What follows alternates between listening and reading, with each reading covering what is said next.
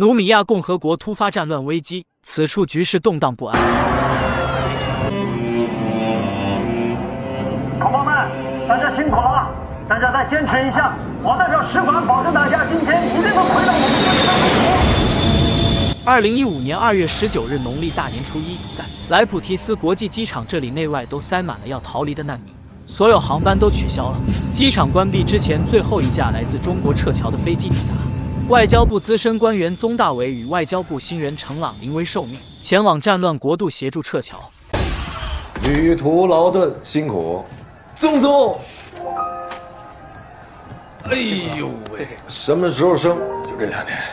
再说你们这儿多清闲。哎呦，弄得你跟没在这干过似的。哎，这是那谁？张楚你好，我是程朗。哎呦，朗哥是吧？现在使馆最缺人手了，像你们这种年轻人，关键时刻就得往上冲。老爷呢？哪儿下指挥呢？外边全都乱套了，根本进不来，就等着你们的文件，开啥呢？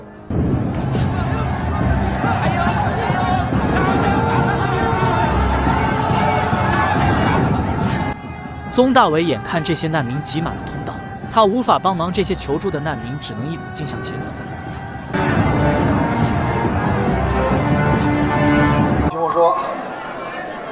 现在，请大家把手上的国旗、护照举起来，我们带你们回家。宗大伟、程朗这两名原定随专机往返的外交人员，因为把自己的机位让给了台湾同胞，他和程朗只能与驻扎当地的外交官老严和张明一起寻找其他办法撤离，暂时留在努米亚。在回使馆的途中，看到这个沦为战场的城区，到处都是被吊死尸体，卡车载满的军人，每个都全副武装，荷枪实弹，准备随时投入战斗。这一幕幕恐怖的情景，真是令人揪心与惶恐。宗大伟心急着要回国，是因为妻子的预产期就是这几天。机场关闭了，现在只有从港口走。到底是过得去还是过不去了？过去干嘛呀？都死这不挺好？呸呸呸呸呸！说什么？这当着朗哥呢，净瞎说。等回去之后啊，你就踏踏实实做个体检啊。我这两天吧，就是尿尿这颜色有点偏重。你不喝水不就看不见尿色？切，小宗啊，觉悟有待提高啊。给钱。明天从港口走，这不是一样的吗？迈布鲁克，论觉悟，这车我惦记。对不起啊，给你们丢人了。别碰头！哎，尤其是左手啊，你那出来之前没培训过吗？培什么训？说好了当年往返，机场都不用出。哎呦！轻点，轻点，轻点，轻点，轻！行，淡定啊！啊！暴乱年年有，哪回能成事？啊？嗯，今晚上有没有船？给我租辆车，我自己去土耳其，等不了明天了。啊？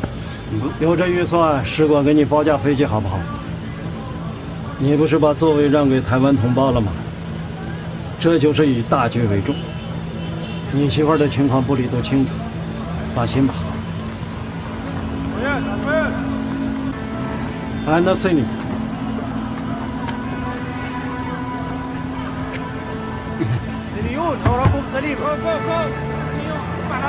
城内已经成了戒严状态，他们都要拿着中国外交人员的护照才能通行。程朗拿着摄录机拍摄，被军人发现的四人全被扣押起来。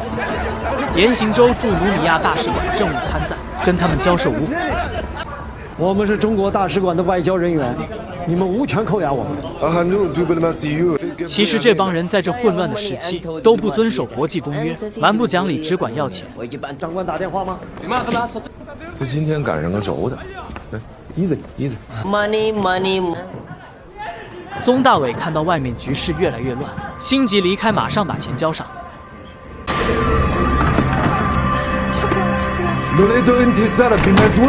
来真的是吗？我交代法定去。我又不行贿。再说你们使馆不也没这预算吗？这是惯人毛病。Go go go！以私济公，我觉得这觉悟是不至于垫底儿。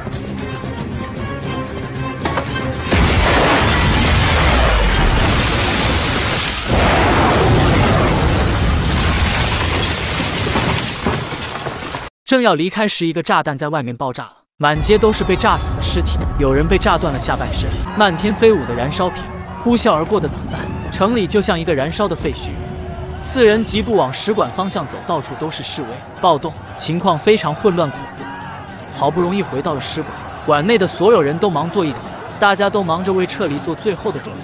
要处理的事情实在太多，根本人手就不够。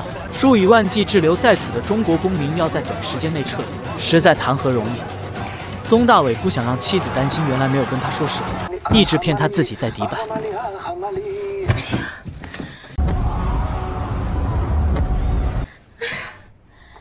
月儿，在。吓死我了！你折腾什么呢？你买的婴儿床到了。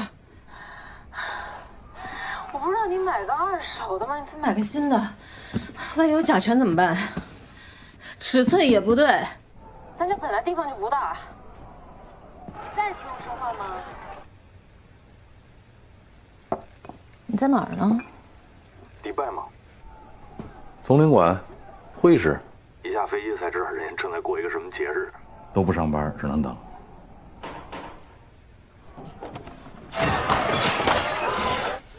厉害！你那儿现在几点？迪拜跟北京不是差四个小时吗？你看我们现在是两点一刻啊，你该吃晚饭了是吧？今天妈做的什么呀？你胃口怎么样？等孩子出来以后，辞职的事儿咱不都说好了吗？你怎么知道等孩子生下来，这个世界不会变得更好呢？哎，没事儿，你忙吧。哥们儿，看见苏大伟了吗？批了，明天最早传。说过多少晚上？目前的安全形势给我们撤销工作带来了很大的不确定性。大使那边东部海路的撤离通道已经开辟，消息已经通知到各公司了，大批的人员都在陆续赶往图尔拉港口撤离。我们使馆的大部分人都要配合这次撤离。还有这么个情况，在西部努图边境，还有一千人滞留，他们的工地被洗劫了几轮，绝大多数人的护照都丢了，困在边境出不来。大批的人都在拨打幺二三零八，我们需要派人去解决。这个任务由张宁带队，司机瓦蒂尔，本地人，车和司机是由张楚夫人白桦他们华兴公司支援的。哎，不客气啊，不客气。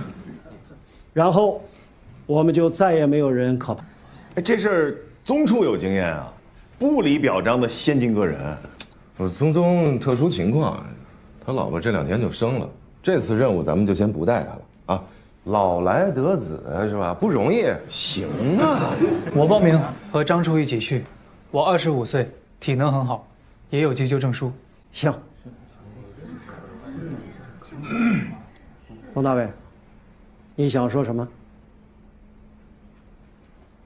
你是在想，严新洲你又在这儿瞎指挥？孩子没学过阿语，也没经历过战场环境，你让他去干嘛呀？我不同意。到此为止，两个人总比一个人强。你不参与这次任务，意见保留。张金、程朗，你们明天趁日出前晨里出发。好。下面我们讨论一下东西两部具体的撤离计划。来来，我给大家说两句啊，这边。宗大伟认为程朗既不懂当地语言，又没有经验，根本不适合参加这个险峻的任务。可惜自己急住回国陪伴快要生产的妻子，想留下帮忙却身不由己，既关心又担心又无力帮忙，情急下对张宁和程朗都说了些过了头的话。这要毫发无伤的，可就得着了。老张接下来的路要辛苦喽。您听得懂阿语，您倒是去啊！去去把快点写。他这是想保护你。他是保护我吗？我知道，他在部里受了很多表彰，拿了很多荣誉，但他私底下怎么就这么暴躁，这么不讲道理呢？老宗一直在各个战斗国家转悠，该不该碰上的都碰上了，学阿语的没辙。那年在突利斯，我们参加一个新年招待会，咣当一下，叛军就冲过来了，手持 AK 四七，见谁就突突谁。老宗反应快啊，左手牵起一张桌子挡子弹，右手把老大使就给摁脚底下就给救下了。我们家宗宗啊，这个心是好的啊，但是就这嘴啊太损了。老同志了吧，干不动了啊，有家室，那自己逃过去了，也不能拦着年轻人冲锋陷阵啊。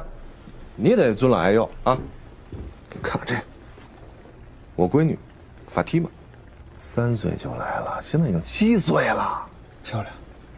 哎，哎，老总，你说这孩子怎么越长越像我呢？你说，你这辈子不照镜子。你嫂子正带孩子往边境去呢，明天我们就可以团圆了。哎，这我就得教教你了啊，尤其是夫妻之间，有什么说不过去的呀？就像我跟白桦，能没有矛盾吗？哄哄也就过去了。白桦在国内混得好好的，您是非把人诓到这儿来，这叫哄啊，这叫骗。白桦能来努米亚，那是为了我们伟大的爱情。那您又为了什么呢？我为什么呀？你不就为了接老严的班吗？Easy，Easy。老严眼睛坏了，你也觉得时机差不多了，再熬不上去，回去多亏呀。宗大伟，扯远了啊！我这是守职而不废，处役而不回。宗大伟调侃张宁：“什么想见老婆都是假话，明明就是想立功，好接老严的班。”说完，他还补了一句：“面具戴久了，真成你的脸了。”这句话让张宁有点下不来台，在晚饭时气氛都不太愉快，两人不欢而散。张宁临别之前送上一个护身符给宗大伟还没出生的儿子，两人一笑和解了。街道上突然爆发枪战，三人躲在一汽车后面。等到枪火停了以后，宗大伟发现躲闪不及的张宁脖子中了流弹，全身染满鲜血。张宁未能抢救过来，不幸去世。刚才一起谈笑风生的同事，此时成为一具逐渐冰冷的尸体。而这就是一个战火纷飞的国家，每天都在上演的事情。张宁的死让大使馆弥漫着一股悲痛的气氛，但是。本来去年他就可以调回国的，你也是死里逃生的人，我开不了这个口。但谁来代替张宁去接应一千多号还没回家的中国同胞，成为他们必须要解决的问题。滞留于交战区千多名中国公民，其中大部分是华兴公司的员工。公司的总经理白桦正是张宁的妻子。宗大伟明白，张宁死后，这个位置只有自己才能接任，即便他在挂念家中的妻子。即便他在想亲眼看着孩子的出生，在国家和战友大义面前，他都义不容辞。为了国家，他放弃了小家，坐上了接应同胞的车。没有人生来伟大，每一个伟大的决定背后，都经历过无数思想斗争，都是不得不放弃自己珍视的一些东西，去成全伟大。褪去外交官这层身份，宗大伟不仅是一个普通人，更是一个即将成为父亲的男人。但为了更多同胞的生命安全，他不得不放弃他陪在妻子身边的权利。为了先把同胞送出境外，宗大伟不得不跟边境官哈桑斗智斗勇起来。人家说不行。我向您保证，这些人都是中国人，而且都有中国护照，只是护照被抢了。他说：“那就把护照找出边境官必须执行努米亚的法律。”哈桑先生，我们中努之间有着非常深厚的友谊，两国还是互相免签。你没有必要为难这些来努米亚帮忙建设的中国公民，他们一个个都是远离家乡，他们是父亲，是孩子，是丈夫，是妻子。我没有让你打破你们的规矩，我只是让你给他们一个回家的希望。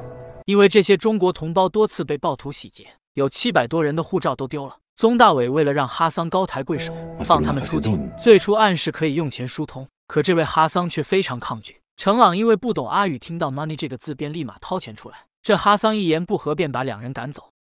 很多，get out！I said get out！现在过来登记的一共是一千零八十八个，但是没有护照的就七百三十三。后来，宗大伟成功接应到一千多名同胞。但还有一百多人因为走散被困在交战区，这群人当中包括了张宁的妻子白桦跟养女法提玛。花心，哎呦，您怎么才来啊？辛苦辛苦，白总没到吗？我们是一块出来的，可白总车坏半道了。车坏哪了？塞普拉塔那边，还有四五人跟他一起呢。不止，有七八个呢，估计这两天就到了。很多人都以为外交官光鲜亮丽，只要在任何时候拿出中国护照都会畅通无阻。可是，在这种战火纷飞的地方，就连当地法律都没人遵守，更何况是其他国家外交官的一句话。所以在这些地方，外交官们想要完成任务，通常只能利用自身的智慧来与当地政府官员斡旋。宗大伟告诉哈桑，边境聚集人太多，乱起来会很麻烦。哈桑勉强答应了，只要有临时身份证便可放行，可是又不说明具体规格要求。哎，宗老师，这临时身份证有什么规格要求吗？宗大伟试图套近，投其所好，可这哈桑却油盐不进，对他们百般刁难。一时说表格要拿改好了，又要求照片要以蓝色为背景。程朗照他的要求，一次又一次的修改。所以我们要坚持下去。坚持不下去的人呢，想一想回国之后你们最想见的人，你们最想吃的东西。老子想走狗。钟老师。宗大伟则用尽各种方式，希望能博得哈桑的同情，可惜都不能说服这位边境官。最后还要求表格要有印章。这不就是故意刁难吗？在这时候怎能弄到印章呢？宗大伟这时十分气馁，正要离开的时候，发现有军人正要进来，他以为是反政府军，他马上给哈桑通讯，表明愿意保护他先行撤离。原来这些军人是来增援哈桑的部下。这时宗大伟说出张宁就是在这场战争中无辜牺牲了，才能成功说服这位边境官准许这批中国人出境。过来了，啊，干活。这条通道都给打通了，哎，所有去不了海路撤离的中国人都在往这儿赶呢，还得是老将出马，又是大功一件。行了，哎，交给你们了。白话，你们使馆还没信呢，确实是失联了。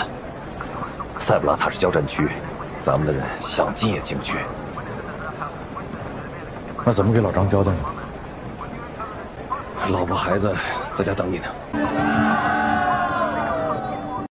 安顿好这些中国公民之后，本来准备回国的宗大伟知道使馆人员还未能找到白桦，而且他们滞留在塞布拉塔这个交战区，快被反政府军穆夫塔攻下。他们不分国籍，见人就杀。出来就好啊！一会儿你坐四号车去机场哦。那边都已经安排好了啊。这回能赶上预选期了吧？宗大伟与程朗两人果断舍弃回家机会。连同华兴公司司机瓦迪尔一位当地人，深入恍如人间地狱的交战区，去营救剩下被困在交战区的中国公民。大伟，回来！延长电话！再不让他太危险了！回来！沦为战场的城区，漫天飞舞的燃烧瓶，呼啸而过的子弹，载满士兵的火车，全副武装、荷枪实弹的军人。一行人在士兵的狂呼中穿过熊熊燃烧的废墟，战火连天，遍地尸体的城区。在交战区，一秒钟之前还在和宗大伟交涉不可进入的军人，就这样活生生的在他们眼前被击毙。在这枪林弹雨中，宗大伟等人几次死里逃生。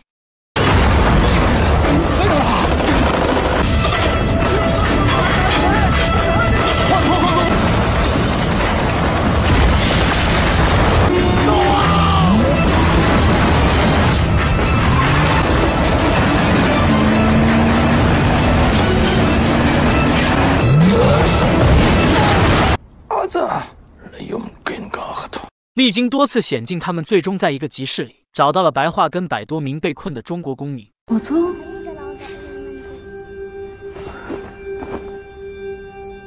宗大伟，你怎么找到我们的？路上出什么事儿了吗？是能喝的啊，是我们带来的，能喝。葡萄糖。哎呀哎呀，有点有点低血糖。老张在哪儿啊？嗯，这就白话。啊，找到。啊，哦，我跟大家介绍一下，这是大使馆派来的两个领导接大家回家的。哎呦，领导好，领导好，领导好，领导好，我们有救了，有救了！领导，我是中国外交部领保中心钟大伟，这是我同事程朗，我们代表中国大使馆。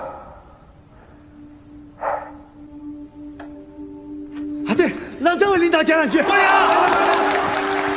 白桦知道丈夫张宁已过身的消息后，她强忍着内心的悲痛，继续带领这百多人撑下去。她是不幸遇难的外交官张宁的遗孀，也是中国华兴公司驻努博分公司的总经理。她性格坚韧，一直担当领导一众侨胞的角色。她知道，如果这事让大家知道，这队伍就必然会垮了。我刚才没跟你说完。我把华兴公司的人分成了三个组，一组负责安保，一组负责健康，一组负责物资。老刘就是负责物资的。对对对，林保中心宗大伟。白总，刚才介绍过了。介绍过了。介绍过了，领导自己介绍的。你用不着这样。老张的事情不能让他们知道，不然队伍就垮了。叔叔，你是整过我的爸爸吗？法提玛是努国的孤儿，三岁的时候就被张宁和白桦收养了，现在已经七岁了。我们外界高管早就撤离了，我们现在的确还有些物资，服从领导安排，全部上交，统一分配，统一管理。谢谢配合。怎么称呼？吉天石油车间主任曹勇。曹主任，那你把物资全部交给白总，统一安排。我现在去办。报告。我叫李涛，当过兵，有啥需要随时找我。这个爸爸是我弟弟，孟礼恒。这样，咱们建立一个青年护卫队，负责保护大家的安全，好不好？是。啊，辛苦啊。早点回去。老葛，有本事留着喝一辈子。李大好，老葛下来收东西。他就是个电工。加上咱俩一共是一百二十五人，华兴公司五十二人，机电室有五十六人，还有十五个在当地做小生意，其中有十一个是伤病号，大部分呢都是小问题，但是有一些重症病人情况不太好，咱们得赶紧跟使馆联系。宗大伟的电话在逃生中被烧坏了，未能与大使馆取得联络。宗大伟现在能指望的就只有自己。白总。这是咱救命的水，喝都不够喝，他拿水擦脸。郭英雪，你喊什么？把强盗再喊回来。这是我的水，是你的水，你也省着点用。真没水喝，你就知道有多难受了。知道了。这些人的情况你们还不太了解，你们的工作需要我配合。老总，我不想休息。领导，这里是隔离区，他们得的什么病还说不清楚，可能是埃博拉。不是的，领导，他们做过检测，都是疟疾。如果能及时救治的话，其实都能痊愈的。这样，你把你们现在最急需的药品和器材，你给我列个单子，我今天晚上出去转转，看看医院在哪。我列过。晚上，宗大伟与程朗连同瓦迪尔三人出外四处寻找物资跟药物，超市跟医院都被战火打烂了，到处都有人搜掠抢劫。这两个赤手空拳、没有配枪的外交官小心翼翼地避开反政府军的侦查。在莱普提斯城，这里也不太平，愤怒的群众正在无差别的攻击各国大使馆。这些人到处投掷燃烧瓶，纵火燃烧建筑物，焚烧汽车，叫嚣声、枪声、爆炸声响个不停，整个城市陷入了混乱之中。中国大使馆也遭受到猛烈的攻击，使馆的人员们都不敢走向窗边，因为随时都有燃烧瓶、子弹从窗外飞进来。严行舟收到消息，知道宗大为他们已经到达了塞布拉塔，已经和一群中国人聚集在一起，有可能已经找到了白桦。塞普拉他马上要被反政府军控制，半个城市都快炸成废墟了。具体位置一共有多少人？消息还称他们现在的情况非常糟糕，大概有百多个中国人滞留在一个市集里，现在根本没有人能够进去营救他们。虽然如此，严行舟没有放弃任何一个可能营救他们们的机会，即使向政府施压，能够把全部中国人都撤出来，那到底该撤去哪里，又该去哪里接应他们呢？更糟糕的是，反叛军很快就会对塞布拉塔进行轰炸，情况非常危急。他们剩下的时间不多了。此时的宗大伟也知道情况危急，他决定带领大家徒步前往迪拉特。他跟大家说，虽然路很长，大家必须坚持。只要到了迪拉特，就会有中国人的车，有中国大使馆的人接应他们，到时候有吃有喝，大家都有救。我不同意。这是轰炸，不撤干嘛？等死啊！只管没给指令，为什么是迪拉特？怎么撤？是不是得告诉他们？我不是告诉你了吗？迪拉特有中资的炼油厂，那个东西是宝贝，是赚钱的家当，谁也不可能去炸它，对吧？我同意去迪拉特，只是我觉得应该把真实情况告诉给大家，告诉他们，我们跟大使馆联系不上。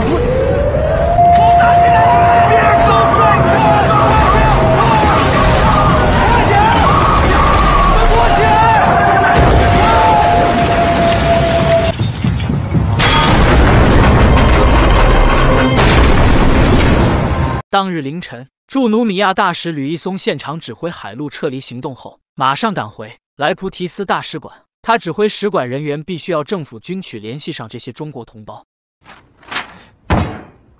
继续打，让政府军想尽一切办法和他们取得联系。可惜，随住塞布拉塔政府军的全面失守，大使馆与宗大伟等人彻底失去联系。宗大伟这位外交部领保中心一等秘书，就是这样赤手空拳带领百多名同胞，有男有女有老有少，轻装简行徒步穿过战火绝境，沿途险象环生，在枪林弹雨中依靠血肉之躯，运用智慧拯救同胞，徒步穿过烽火战区，又进入了万里荒漠，向迪拉特前进。同胞们，努米亚的局势变化以来，党中央、国务院高度关注在努同胞的安全。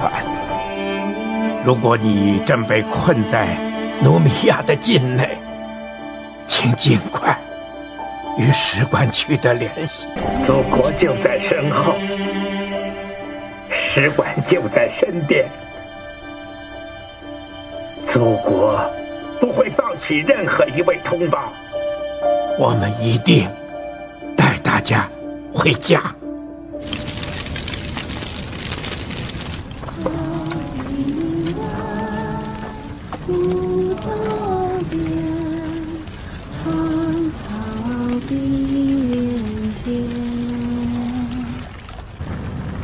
没事，老总，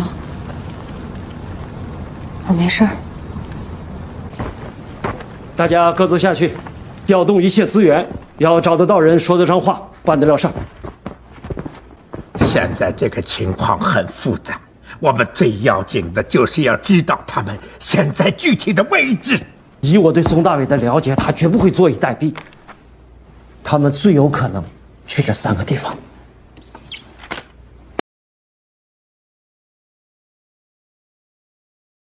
我们需要国家卫星系统支持。 ضاع سندباد كل ما يملي مرته في البحر دار سنة تجمعت الرمال على ظهره كان الناس يحرمون النيران فيها أزعفت النيران الحوت وبدأ الحوت يهتز في الدم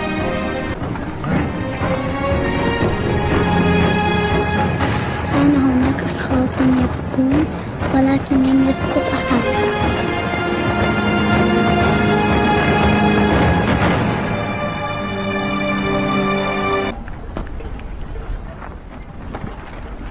之前跟你说那些话，你都没放心上是吧？啊，哪些话？迪拉特不一定有救援，应该告诉他们了吧？应该，应该，应该。你说的有道理。我现在就去告诉他们。 这些人对战争没概念，包括你在内，所以必须一切行动听指挥。人员可以听伤病呢。万一到了迪拉特没有救援，你这样做就等于在杀人。我不是医生，我没有能力给人家治病。我现在就是要把所有人都带出这个地方，带回国，这是我的责任。你听不懂人话？怎么了？没事。白总，现在就是迪拉特他能不能不在这出去再讲不行吗？我没有精力和时间跟你辩论。你也被外派到伊拉克图利斯，地震、政变、瘟疫你都经历过，你也救过人。但我真没想到，你今天这么懦弱，你甚至连跟大家讲一句实话的勇气都没有。成啊，你刚才那些话太不应该了。你知道我们在吵什么吗我不用知道你们在吵什么，我也不想知道你们在吵什么。但是我知道你们不能在这儿吵。你们想让那些人都听到大使馆派来救他们的两个领导内部有矛盾，在起内讧，是这样吗？小程，这样，我也给你道个歉，好吧？刚才态度不太好，没控制住。嗯，啊，但是这个事情呢，咱们维持原判，所以出了任何问题，我来负这个责。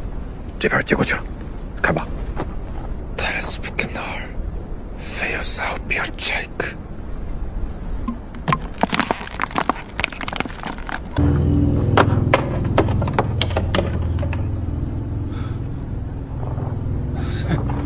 有点拉肚子。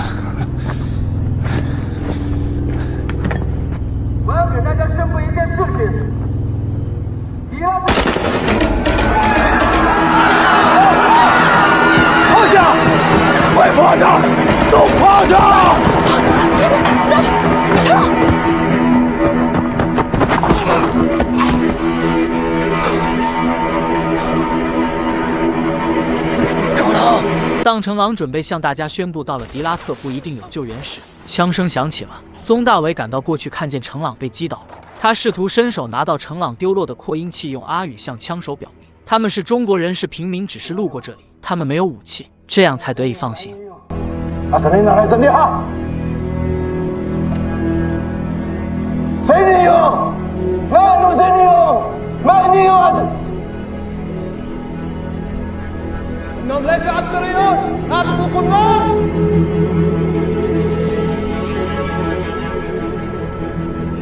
幸好程朗的避弹衣替他挡了子弹，只是受了点轻伤。胸口上还有点淤青，不过时间久了就能自愈的。我妈在我小的时候就生重病走了，我爸骗了我好几年，说我妈去国外了，还说瞒着我是为了我好，就因为这个， 我连我妈最后一面都没见上。我最讨厌撒谎了。有时候不说实话的人也要承受很多。刘明辉因为听见了宗大伟和程朗吵架，知道他们与大使馆失去联络，即使到了迪拉特不一定有救援，便自行离开大队了。应该是沿着铁路去边境了，因为他之前跟我提过这个方案，我觉得目标太大，我没有同意。走的都是我的员工，我比你了解他们，他们现在很难再信任你了。那也不能让你去啊！你要出问题，我怎么跟老张交代？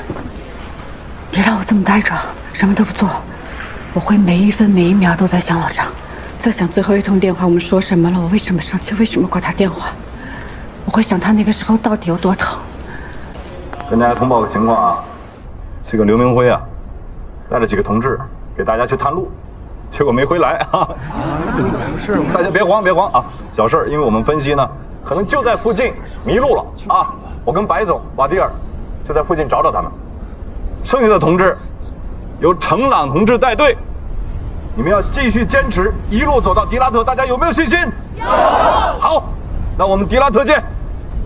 白总，走。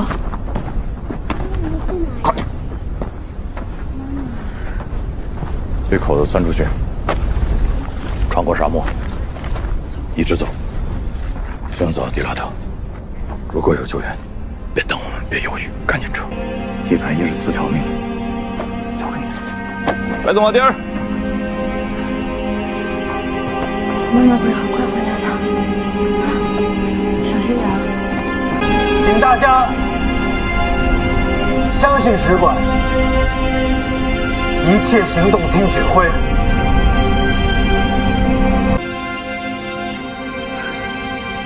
鉴于近日努米亚安全形势发生重大变化，党中央、国务院十分关心我驻努人员安全，第一时间成立应急指挥部，负责组织协调我驻努人员撤离及有关安全保障工作。外交部第一时间启动应急机制，国内有关部门和中国驻努米亚使馆正在抓紧落实有关工作。截止目前，还有多少中国同胞被困在努米亚境内？鲁图通道的打开对于本次撤侨行动的意义是什么呢？杨斌律师，杨斌律师，请您谈一下。这次通道的打通意义确实非常大。请问刚才那位先生是谁？您为什么让我们去采访他呢？他就是打通通道的人。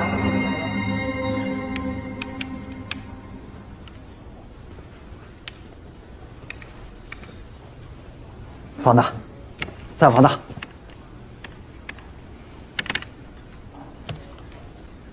大写字母 D，这应该是给我们留的信号。D 在国际上有什么通用含义？原来前几个晚上，宗大伟每到一处都点起一个篝火，是希望国家的卫星能看到他们的求救。把三个发现点连成一条线。好，快！迪拉特，他们会不会是去了迪拉特？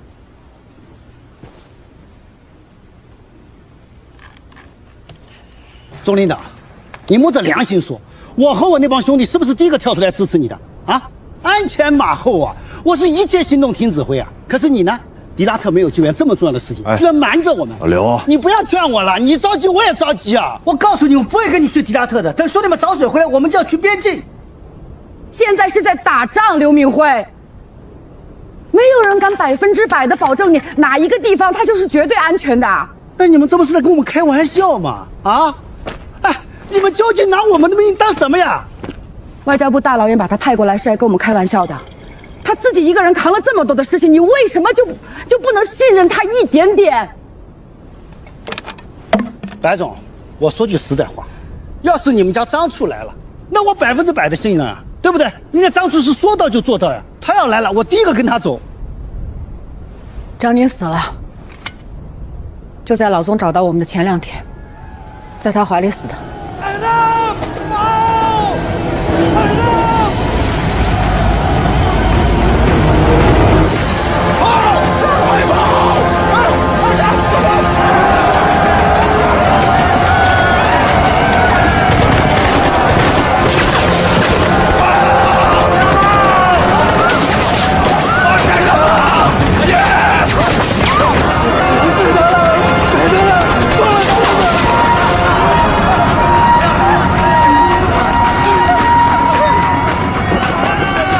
真的，神力，哪里神力？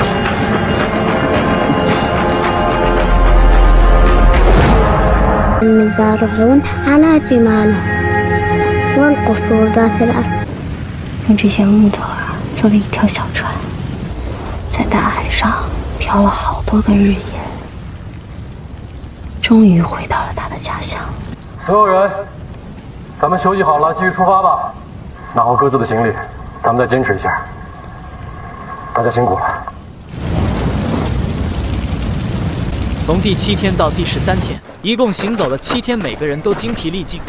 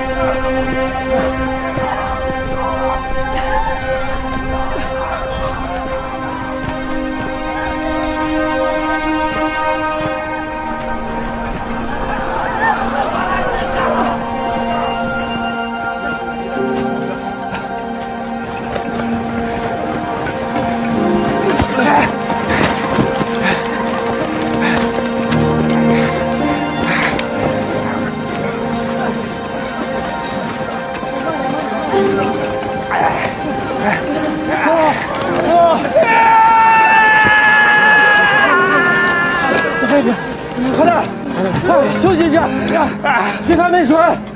来，他们走了三十二万步，走了万多公里，到达了迪拉达。谢谢。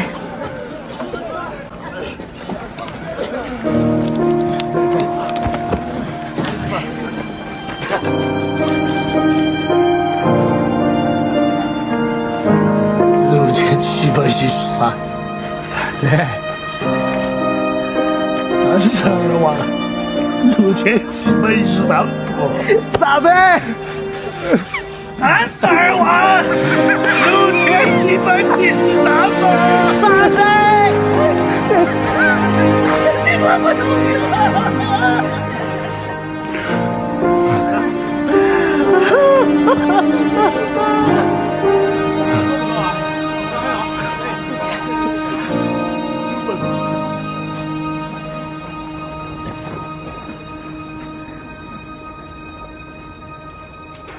抓了宗大伟等人的正是反政府军穆夫塔，哈利斯王牌旅铁甲营营长。他先说要处决所有人，他说中国人偷了他们的井水，其真实含义就是指中国人开炼油厂就是在偷他们的石油，所以必须要死。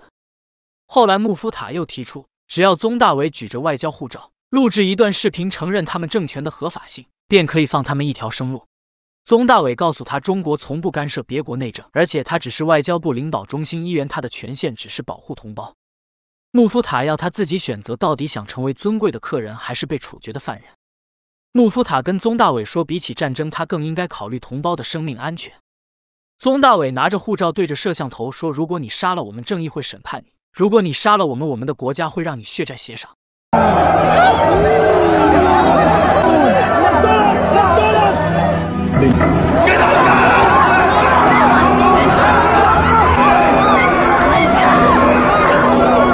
混乱中，瓦迪尔跟叛军求情，他说这些中国人是我们努米亚的朋友，他们来到这里是帮我们建设铁路和医院，我们不应该这样对待朋友。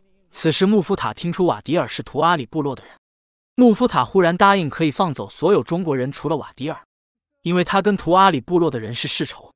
宗大伟向他求情，说明瓦迪尔是中国公司的员工，让他带他走。穆夫塔开出一个条件，只要宗大伟敢拿起枪对准自己的头开一枪，便可放行。宗大伟挣扎了良久，最终还是没有拿起那枪。还是瓦迪尔不想宗大伟为难，抢了那把枪，本想对准穆夫塔时，最终被叛军击毙。抓紧时间，出了境才算完成任务。要以大局为重。那老宗呢？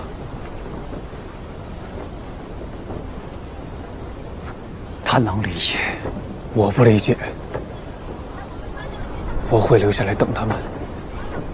不晓得白总他们还回得来吧？大家抓紧时间。同胞们，大家抓紧时间上车。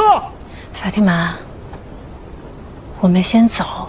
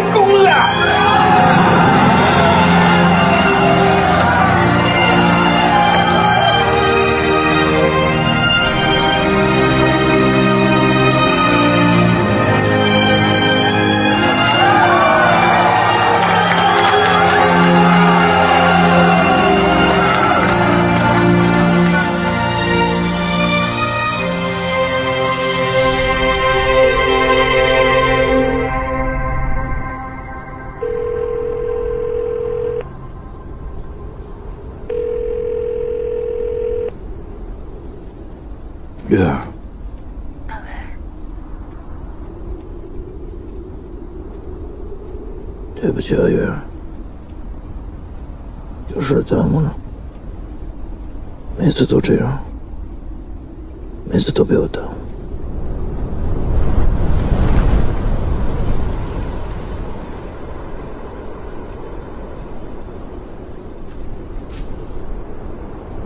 回家。我知道你在想什么。说真话没有错。你呀，其实比我更勇敢。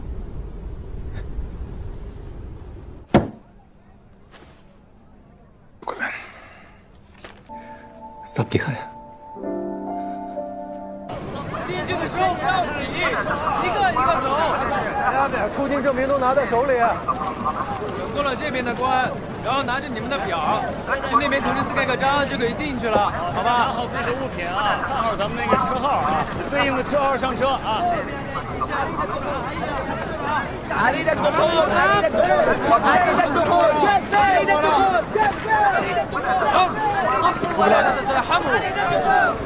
领导，没看见我领导了？小宋，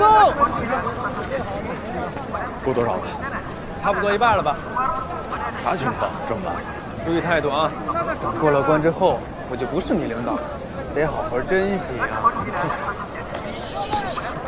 抓紧，抓紧，抓紧啊！好，我们抓紧时间啊！法蒂玛，可以。回家了。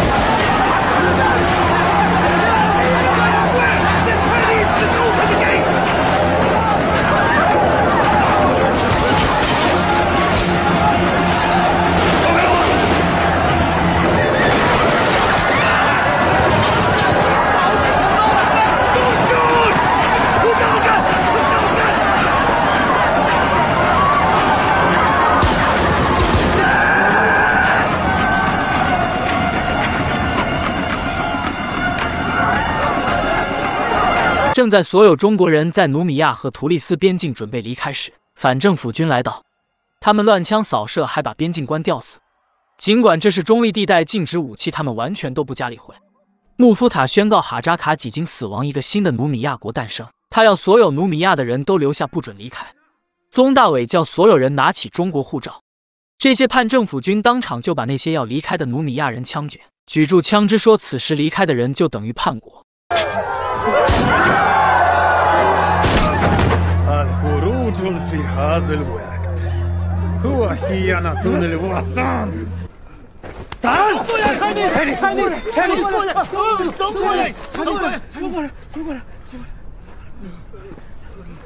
一帮人为了保护沙提马，都站起来，希望能阻挡他们的视线。可惜，最终他们都把沙提马揪了出来。白话：为了保护女儿，是要跟他一次。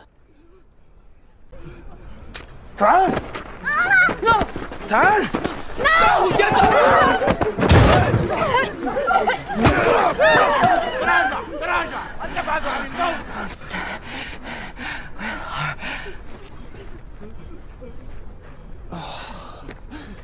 أحب عينيها مثل ذابة صغيرة فقادت الهيمة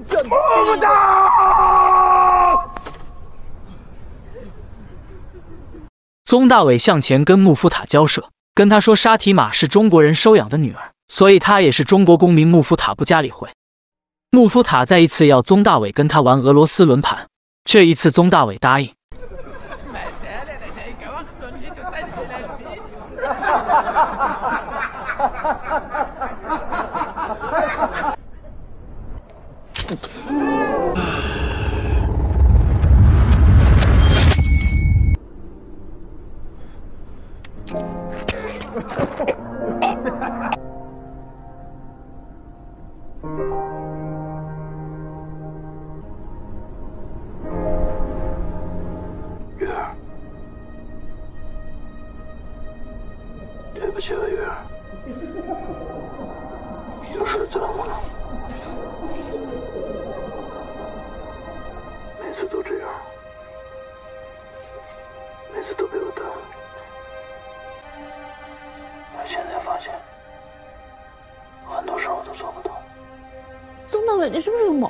啊？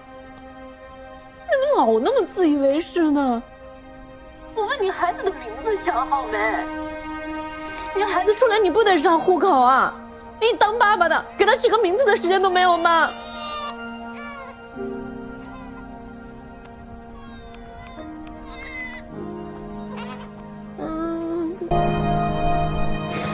虽然我不知道你在那儿遇到了什么困难，但是我相信，能够带他们回来的，一定是那个又勇敢又智慧的你。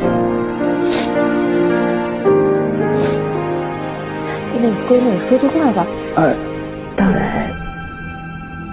这个世界一定会变好的。五枪两人都没事，第六枪轮到宗大伟。宗大伟在开枪之际，穆夫塔把枪抢了过来。只要宗大伟肯跪低求情，便可以放过他。宗大伟基于尊严、国家的尊严、民族的尊严，毅然开了第六枪。这才发觉这个穆夫塔其实是个骗子，枪根本就没有子弹，他自己根本就不敢玩这个游戏，只是吓唬别人而已。沃达夫在众目睽睽被人识破他是个骗子的时候，竟然恼羞成怒，想在宗大伟背后开五枪。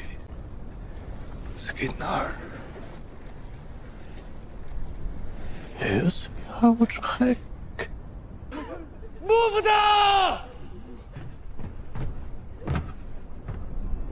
Put that gun! The camera is rolling!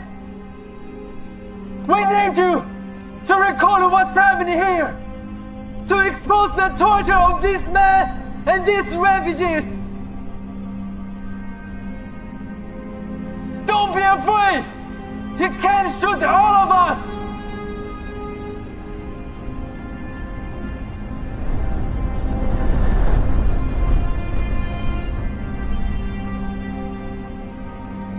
Move now! You can't bury the truth!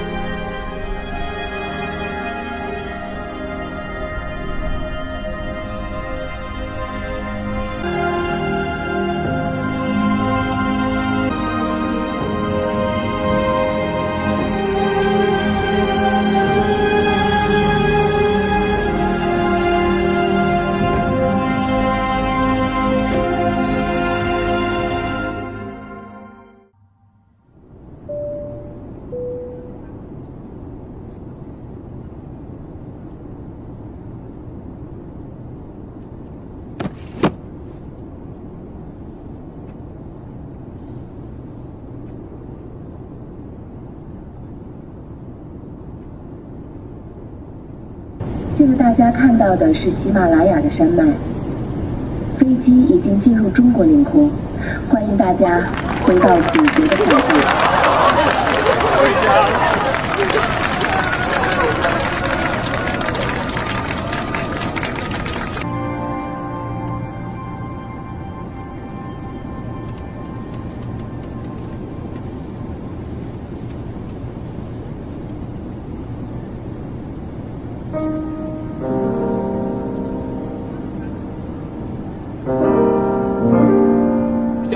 们继续关注中国公民撤离努米亚的最新进展。今晚七点二十分，随着载有一百二十五名中国同胞的临时航班安全抵达首都国际机场，我国撤离在努人员行动圆满结束。自努米亚局势动荡以来，党中央、国务院第一时间成立应急指挥部，展开了大规模、有组织、立体化、多通道的撤侨行动。共计撤出三万七千二百一十名中国公民，充分展示了我国的综合实力和负责任的大国形象。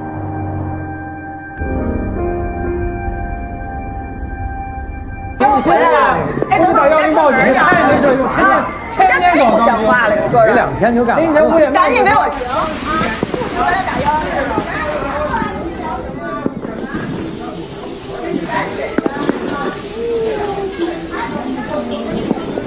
叫奶奶，不会说话，看着多可爱，长那么漂亮，像妈妈。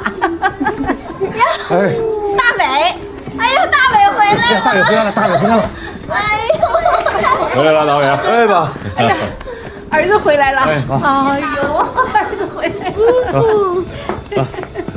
快看看孩子，快看看孩子，快看看孩子，赶紧赶紧赶紧的好好看看宝宝。